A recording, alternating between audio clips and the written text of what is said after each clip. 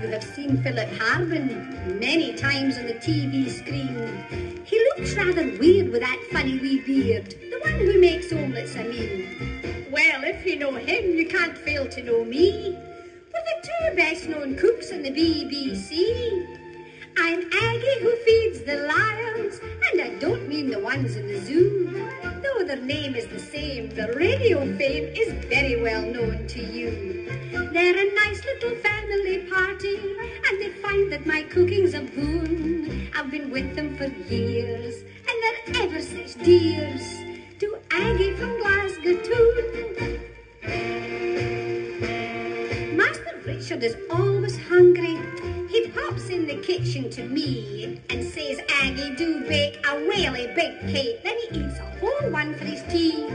Miss Barbara, well, she just eats now and then. The lassie must study her figure, you can. I'm Aggie who feeds the Lyons. I study their taste, you see.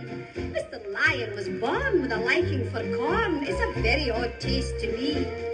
On Burns night I make them a haggis. Notice it always comes down to the kitchen and tag. But I eat it in fact. I'm Aggie of Glasgow too. They think that my accent is foreign, but theirs is quite foreign to me.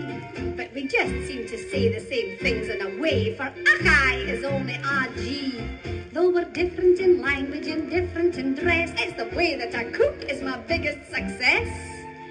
I'm Aggie who feeds the Lyons, and believe me, they're very well fed.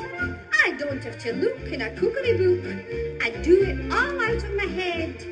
There's a soup that they call clam chowder. When I make it, they drink it all down. It's Scotch broth all the same. I just change the name.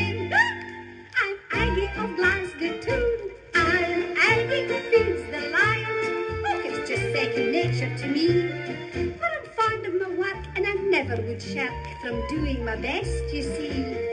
And you couldn't find nicer people if you went from Penzance to Dunoon. So I'm not going to try.